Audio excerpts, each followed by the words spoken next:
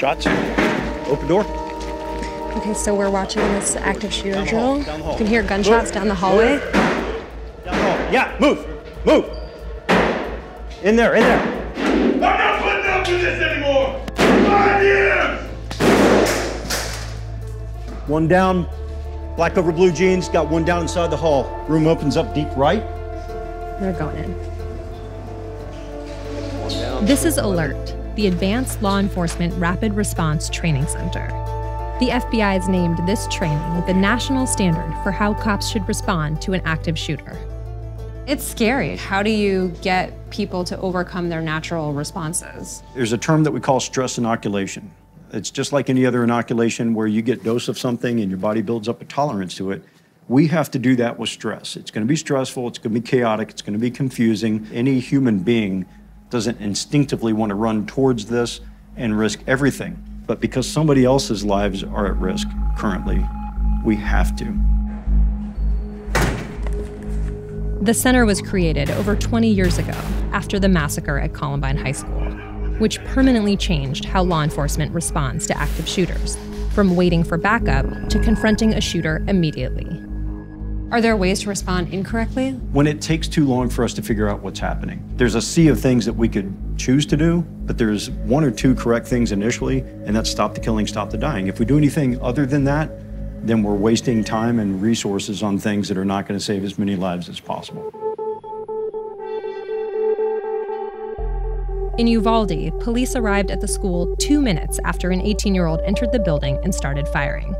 As the shooting continued, as many as 19 officers were inside the building in a hallway, while children and teachers hid in classrooms calling 911. Still, the officers didn't breach the doors. for the benefit of hindsight, where I'm sitting now, of course it was not the right decision. It was the wrong decision, period. It took at least 75 minutes before officers unlocked the doors and took down the shooter. By then, 19 students and two teachers were dead. While ALERRT didn't train the Uvalde police, the officers who responded had gone through a similar active shooter training just two months earlier, in March. When you look at what happened in Uvalde, there's a, you know, very public conversation now about the response that went wrong. What is that like here when you guys see that unfold? It's easy to get emotionally charged, and when you watch that, um, because you understand the tragedy across the board that's happening, but we have to be patient. We have to wait, get actual facts, data, and then we know what we're dealing with. This is something that it doesn't happen as often as the stuff we do day to day. Traffic stops, take reports, investigate crimes of other natures that occur on a regular basis. What's required for, for us to be able to handle one of these is something totally different than what we do day to day.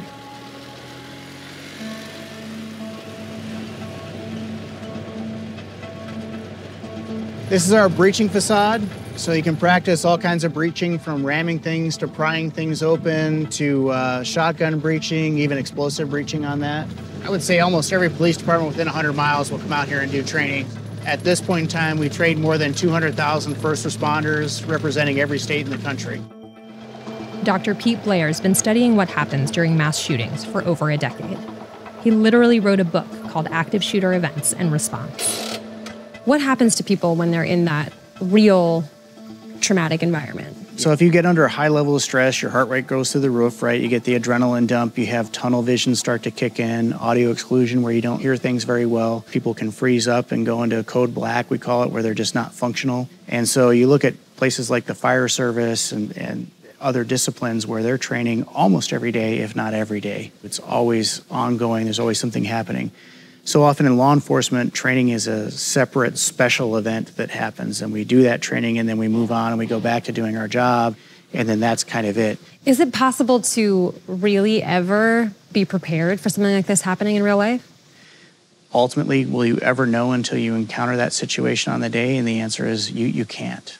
You can't know for sure until you've encountered it. All we can do is provide you with training, prepare you for it as best we can so that you know what you're trying to do, you've experienced something close to it before, and hopefully on that day you'll be able to respond appropriately. Despite the tens of millions of dollars poured into national training programs, law enforcement officers have been slow to respond before Uvalde. The school safety officer at Marjory Stoneman Douglas was charged with neglect for staying outside during that attack. 17 people died. And 31 police officers were sued for not protecting the dozens who were killed and wounded at the Pulse nightclub in Orlando. A lot of people watching the response in Uvalde, I think, have lost a lot of faith in police response. How do you convince people that it's worth continuing to invest in training? What else would you do is the first question. Like, okay, what what's the solution? Then you're going to say we don't provide any training, we don't spend any effort on it, and see if things get worse. But in some sense, we've accepted the reality that the, mass shooting is going to happen. It's just about how many people die. For us, it's about how do we respond better to limit that. The solution to me is that we need more training, and simply checking the box and saying that I went to active shooter training at some point in my career is not enough to prepare you to respond to that event. You have to practice those things. And that's why we are big proponents of policing moving toward a training culture where that training is happening all the time.